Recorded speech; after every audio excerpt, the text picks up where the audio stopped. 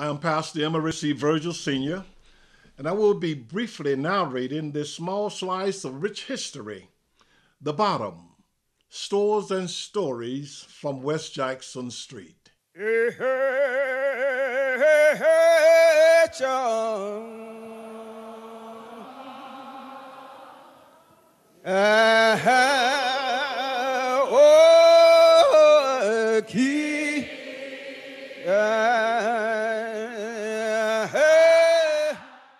West Jackson Street has seen many changes. The bottom, as it was and is still known, is a historic district that had many thriving black, Greek, Jewish, and white owned businesses. For blacks, the bottom was for decades a cultural and clean community. It was an orderly community and a safe community. But after a decline in the 70s and 80s, Many businesses closed and buildings eventually were abandoned. West Jackson Street was renovated in 2019 with input from many sectors of the community, including the arts community. In 2021, plaques were installed with the names and owners of businesses which once thrived in the bottom.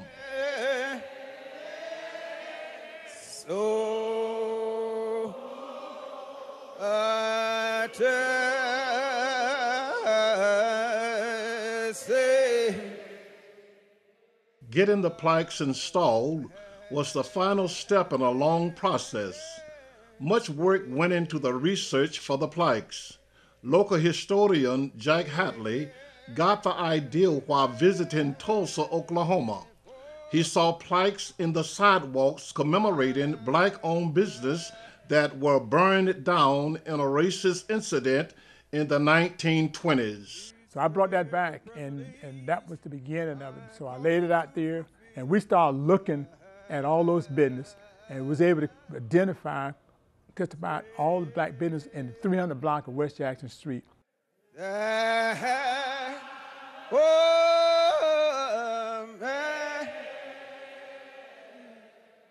A flourishing place does not happen by accident. Let's take a look at some of the threads of history that made the bottom so special in the hearts of many. Of course, as a pastor, you know I'm going to start with the church. I think history will agree with me that a thriving culture needs good reasons to do and to be so church was the center of the things for blacks because that was the only place we could go. Our church served as not only the place to come worship, but we could not go to restaurants. Uh, blacks weren't allowed in a lot of places, they didn't feel comfortable, or that the cost was so whatever. That we, our restaurants was at our church. Another thread of history was the resort era in Thomasville. Wealthy industrialists vacationed here and some moved to Thomasville. They bought farming plantations and made them hunting plantations around the 1890s.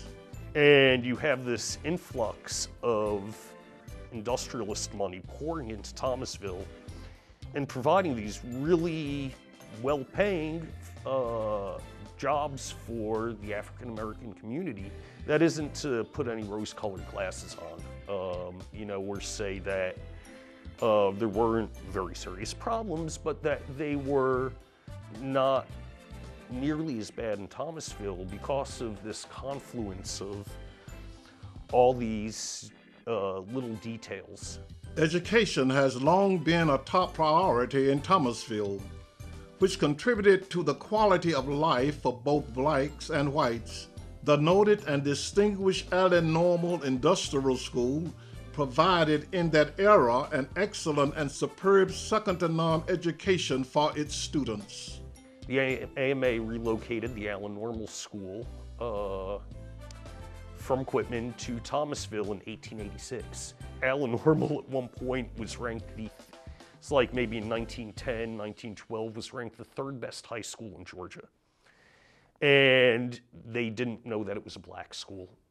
And they pulled the ranking after that. But you can continue to see it in later generations of Thomasville. There's like just all these little things that layered on top of one another uh, that just made everything work to the point that, you know, here we are in 2021 and um, the Secretary of Defense comes from little old Thomasville, you know. And Thomasville's very proud, but also there's been so much success out of Thomasville also that I, I don't want to say it's expected, but it's like part of it sometimes feels expected. Like, yeah, that's yeah, that's right.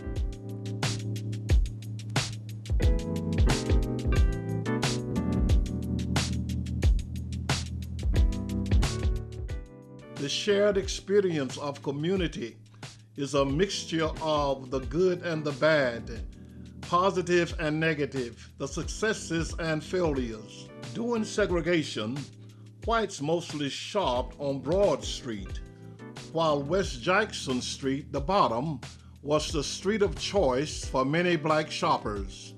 As a teen, Walter Mariah did shop on both Broad and West Jackson Street when you went in those places, it was like,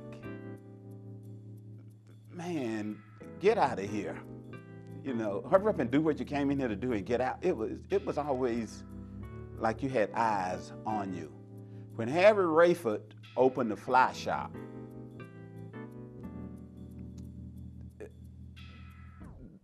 you just lost all of that uh, fear. You could go in the fly shop, handle the clothes, try them on and everything. You didn't have this pressure from some white person. Don't want you, they want your money, but they don't want you in there. And it took me quite a while to just weave myself through and get past it. But, you know, all of those things that we experienced uh, made us who we are today. During the 40s and 50s and 60s, the bottom was a blooming business section of Thomasville. The sidewalks would be filled with shoppers going in and out of stores. And we cannot talk about the peak of the bottom without highlighting the strong sense of family and community. This meant that kids and teenagers had more than two parents around at any given time. I didn't have the freedom I would have liked to have because I had so many eyes on me for being young and we were going to do just what our parents said because we we was too well known in Thomasville to do anything different.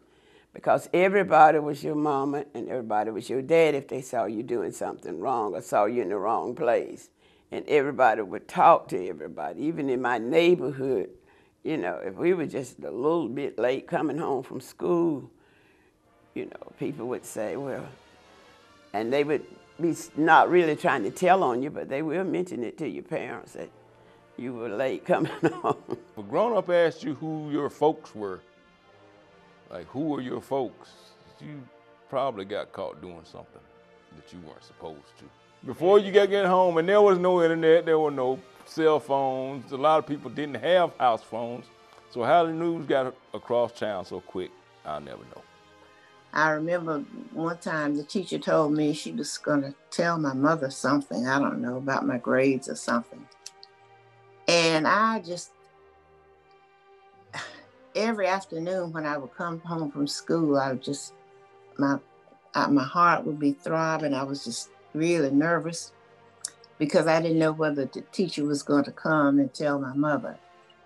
But I guess the teacher forgot, so she never came. So we had a sense of pride of owning our own stuff.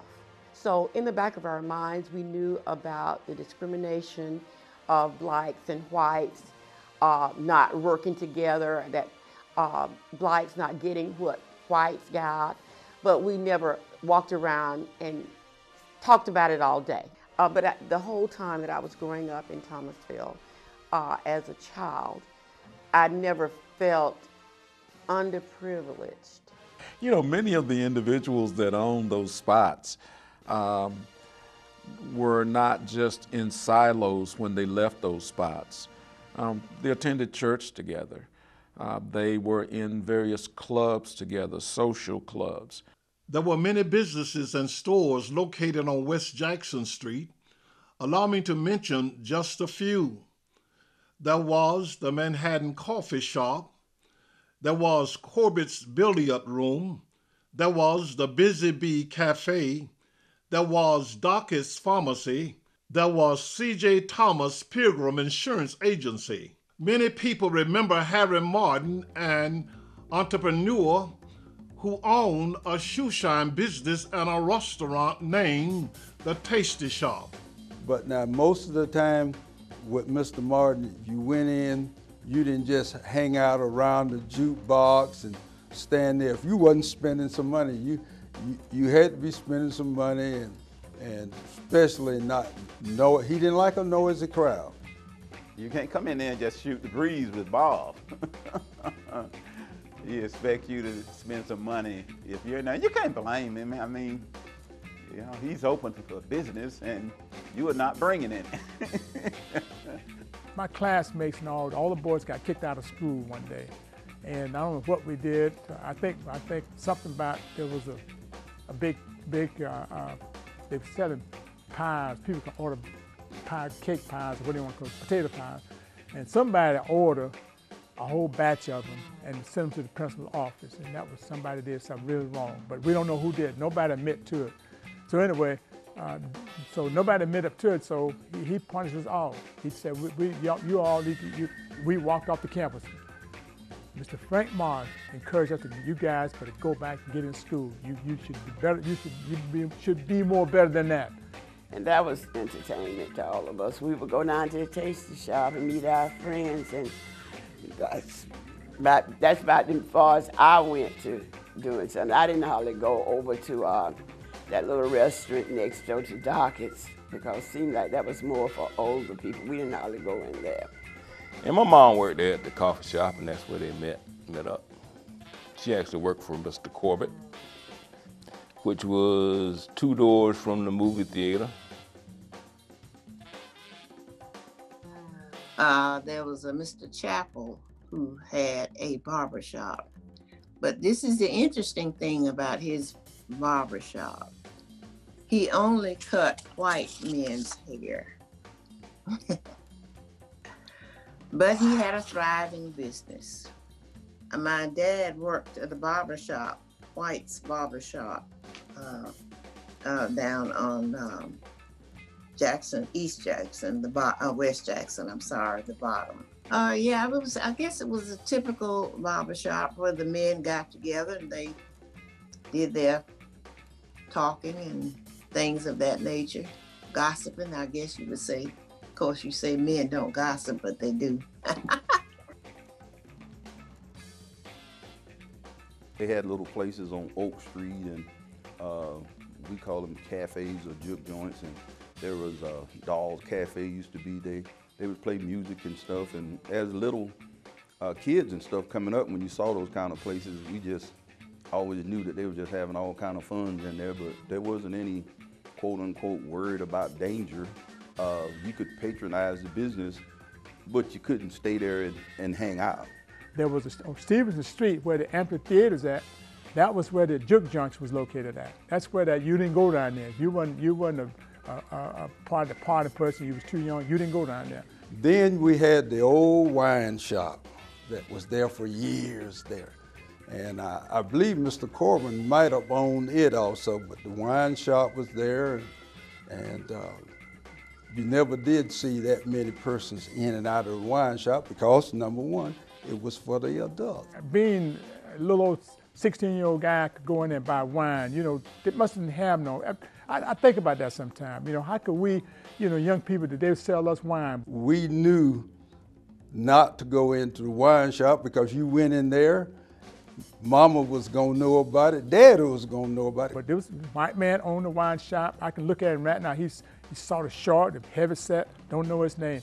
But we did. We, we, we got that. I forget what kind of wine it was, but anyway, we would and mess around. Typical to what some kids do today. I hope they don't. Let's put it that way. I tell you, Mr. Hadley, this is your pastor. You really need to see me concerning this incident. I'm looking forward to you being in my office as soon as possible. But the place that stood out a lot to me that I guess nobody ever will ever think about it was uh, it was a Jew named Norman Goldstein Jew store there. And that's where most of the black people would buy most of their stuff from that store. Because he would come around and bring you you know, many days. He brought us a selection of clothes to the house. We didn't have to go down to the shop like shoes and things. Um, there were several Jewish stores down here. My father spoke of those men, and, and one in particular, um, I think his name was Mr. Goldstein.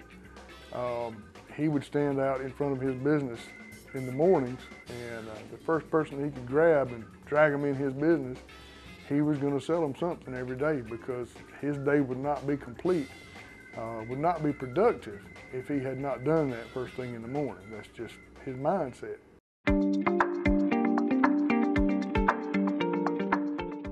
Used to go into Tuck Hardware when we couldn't find it anywhere else, and you'd have to wait for Mr. Tuck because he's the only person that knew what was in that store. When they uh, went in and was cleaning out his business, that uh, of course they found old buggies that were in boxes that had never been put together, but they found dynamite too, boxes of dynamite. So they had to call the military in uh, to to dispose of that dynamite. You know, enough to he said enough to blow up half his block or more probably.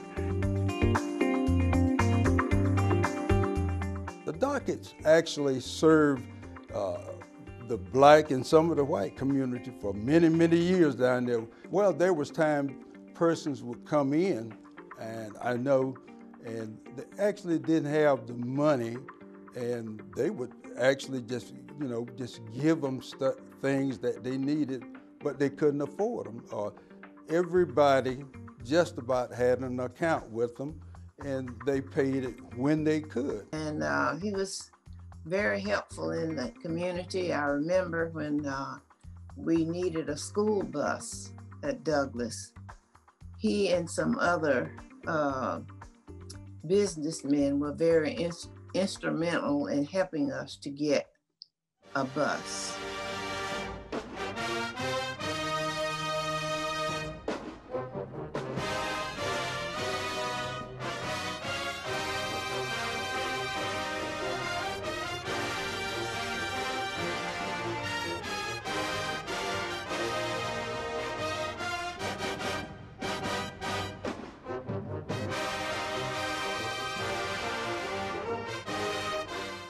The parades filled the bottom to the top. People would surround the bands as they would march down West Jackson Street. They would start dancing in the streets and on the sidewalks.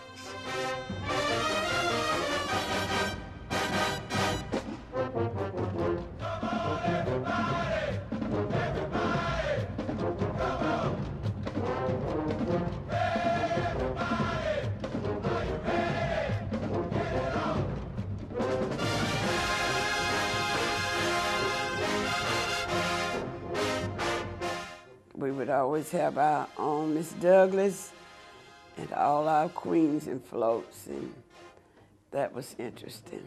Good, and special football players would be on that. It was, it was really nice, and the cheerleaders would march on there, and we would decorate our floats, and it was beautiful.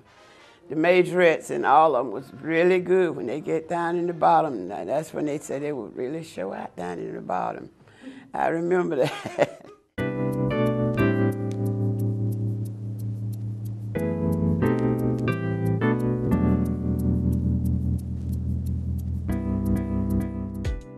parades weren't the only form of entertainment in the bottom. The hub for so much activity at the bottom was the Ritz Theater. It was owned by Nat Williams and managed by Eddie Lightsey. He operated many theaters for Nat Williams. The entire Lightsey family helped out. It was, it was very vital for the community because it provided a lot of opportunity for jobs. Uh, a lot of a lot of kids my age and a little older. Uh, my dad employed them, you know, to serve behind the concession stand, sell tickets. Uh, I actually worked concession stand and sold tickets and projectionist. On Saturdays, many people from the rural areas came to the bottom to shop. The parents would drop off their children at the Ritz Theater, and Michael Lightsey said that his mom would look out for the small children in the theater. She'd be sure they would. She'd be sure they didn't run around and and uh, aggravate the other the other moviegoers, and she'd have them make them sit down. And you know, I've even seen her, the ones that didn't didn't bring concession money. She's giving them concessions because concessions was was real concessions back then. We had milkshakes and hot dogs and hamburgers and French fries and full service, not like today. You can pay 15 cents to come in and you make and do the concession stand twice with a quarter. And we had this um, like a lobby upstairs just before you went into the balcony, uh, up to the balcony, and there was a couple of seats up there. Well, you get some guys, they would pay, but they'd just go in there, stand around, and that was their little meeting place. And they just stand around and talk. They wasn't causing a problem. Not only did we they have movies, but they had a, a huge stage. Uh, we would have live performances. My my dad's baby brother, he had a singing group, the Mark IV. They would come perform and they just pack, you know, the house would be packed. Uh, uh, one of our local boxers, Joe Alexander, had an exhibition boxing match. But we were able to go sometimes, and the only thing I remember is that all of the movies were westerns. they were all westerns, and what we used to call them was shooter shooter ups. You didn't get to see quite a uh, that many black people in Hollywood, but uh, you would get some of those movies where you would have a uh, the character would be black and he would be the hero or the heroine in the movie. And some of them were, uh, as we look back now, a little bit over the top, but uh, not uh, Cleopatra Jones and that kind of stuff uh, with Pam Grier and some of the others, but uh, uh, definitely that one. Uh, I figured you'd remember Pam Grier. Oh, oh absolutely, absolutely. A, a young man of your age. and everybody was kind of gather around the theater on Sundays, and basically all those that didn't go in the theater, they would stand outside or sit on their cars. It was it was just like a meeting place. There were efforts to save the Ritz Theater. It was in bad shape. It was torn down in 1995. In the 1970s, the bottom began to decline. There were local and national reasons for it, and all of downtown was hit hard. Things start changing for the black community. That's when the business, the black man that ran business downtown, because we start running uptown to the other building. We start running to the shopping center. 1963, New US 19 goes to the east of Thomasville. And of course, development started happening around there in what they, was called the Gateway District. Unending miles of beautiful black concrete painted with yellow stripes on it man, that was the American dream in the 1950s and 60s. And I, I don't even think of it as a good thing or a bad thing. It was just a thing. This is my thought that when the original original owners, the uh, older ones, when they died off, many times their younger ones did not, you know, take that business over and continue with it they had become deceased or different things, and they were being to the point where, you know, the upkeep of them was not in very good shape. So I noticed the change in them where they was being to the point where they was even, you know, coming in and tearing the buildings down. That was just a part of uh, all the changes that was coming, which was good changes, but it was just the sad part about seeing the all the history part, you know, been torn down. The opportunities for minority businesses to move up on Broad Street weren't there. The opportunities to engage other clients was not there. So I've seen Thomasville trans, make those transitions.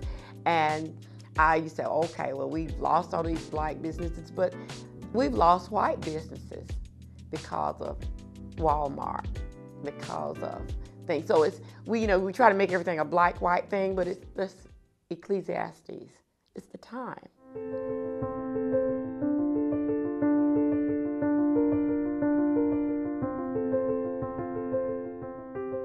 and everyone is excited to see the new energy and renovation on West Jackson Street.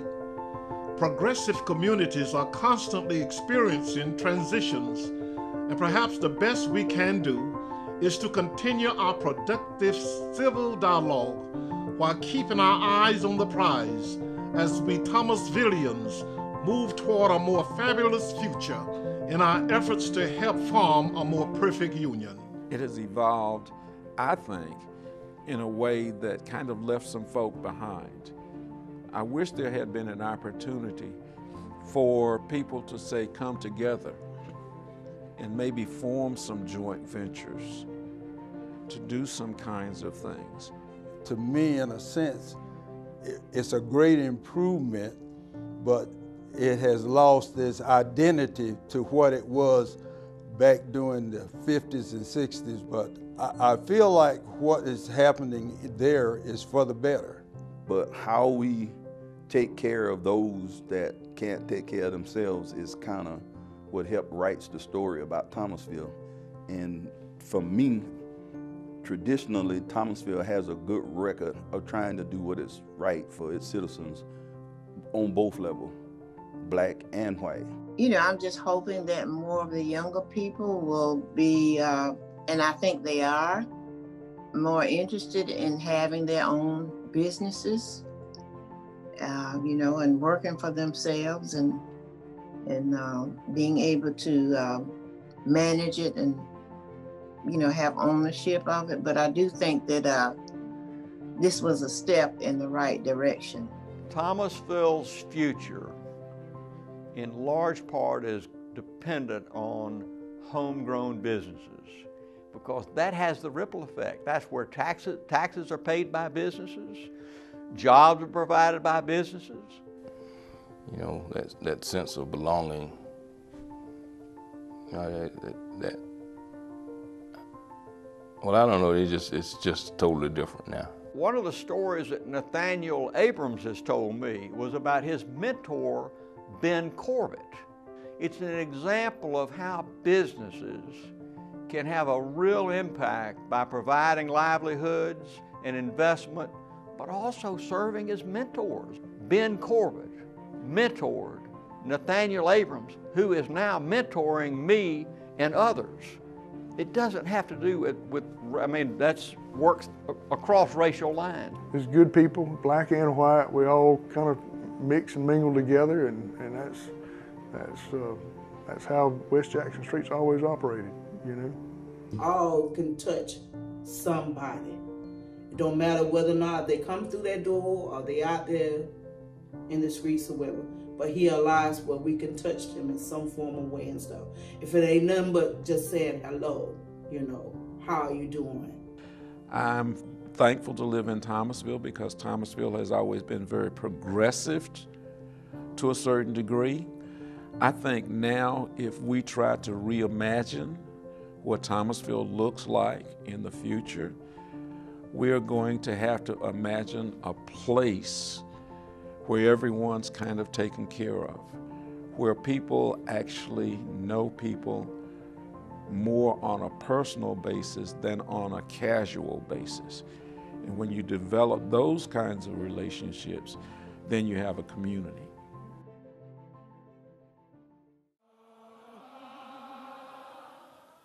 Uh-huh. Oh, on February 10th, 2021, Mr. James White, owner of the Busy Bee Cafe, got to see his plight for the first time. He's in his 90s now, and he's a World War II veteran. He reflected on his time as a black soldier serving with other black soldiers in the bottom of a Navy ship. Thank you, Mr. White, for your service, and thank you for helping us all to mend.